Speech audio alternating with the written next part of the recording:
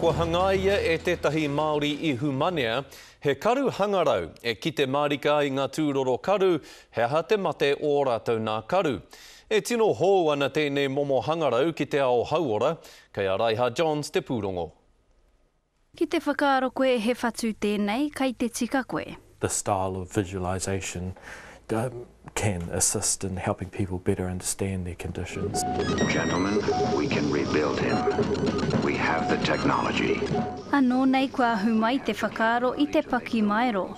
He tauira tēnei o te whatu tangata, ēngari nā te rorohiko kē i hanga.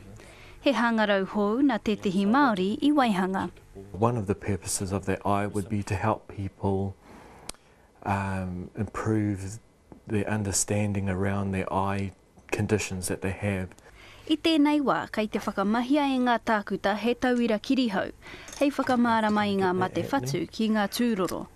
Tāturu whenua He ao hou tēnei, me aro te ao hauora ki ngā rorohiko hei āwhina i ngā tūroro. Koinei te tuatahi o tēnei momo hangarau i te ao mātai whatu ki Aotearoa nei.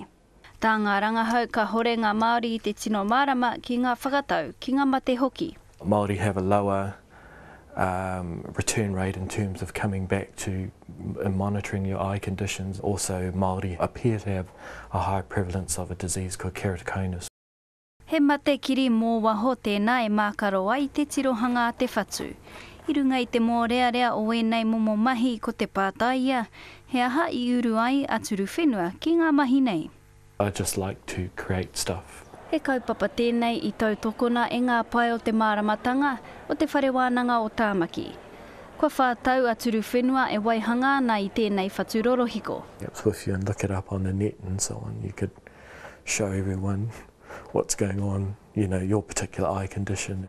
He māramatanga i roto i te ao mātai whatu, he oranga mā te katoa. Raiha Johns, Te Karere.